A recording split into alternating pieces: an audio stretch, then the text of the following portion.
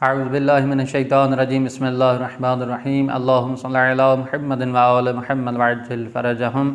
मोहतरम नाजरीन आज की इस मुख्तसर से वीडियो में इंशाल्लाह बयान करूँगा कि इंसान हफ़्ते में कितनी दफ़ा जो है हम बिस्तरी करें आपकी खिदमत में गुजारिश करता चलूँ कि ये सवाल जो है कि हफ़्ते में इंसान कितनी दफ़ा जो है हम बिस्तरी कर सकता है तो मुमकिन है इसकी तफसील आपकी खिदमत में जो है बयान करता चलूँ कि मुमकिन है कि एक इंसान जो है उसकी ताज़ा शादी हो और वो हफ़्ते में अपनी जो है जिनसी तस्किन को पूरा करने के लिए कई दफ़ा जो है वो हम बिस्तरी करें।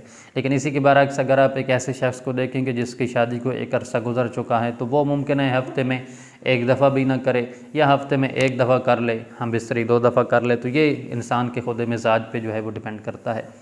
इसके अलावा जो डॉक्टरी हवाले से है कि कम अज़ कम जो है चालीस से पचास के एज के जो लोग हैं, उनको हफ़्ते में कम अज़ कम जो है एक दफ़ा ज़रूर हम बिस्तरी करनी चाहिए। उसके अलावा जो इंसान 20 से 30 के दरमियान है, उसके लिए वो है कि एक या दो दफ़ा जो है वो भी हतमन जो है ज़रूर हम बिस्तरी करें। तो अगर ये चीज़ फिर इससे अगला जो मरहला और बात है, वो ये है कि इंसान के मिजाज पे डिपेंड करता है। यानी इसका शरी हवाले से कोई वो मना नहीं है, कोई हराम नहीं है। इंसान जितनी दफ़ा करना चाहे वो हम बिस्तरी कर सकता है, उसके लिए जायज़ है, सवाब का बायस है और उसकी नस्ल की बका का जो भी बायस है। तो बहरहाल ये है कि इंसान जो है, अगर उसकी सेहत के लिए नुकसानदेह हो इन हम बाकी इस वीडियो में जो है, इसके जो नुकसान हैं जो मुतव नुकसान हैं कि जो इसके ज़्यादा हम बिस्तरी करने की वजह से हो सकते हैं, उनको बयान करेंगे।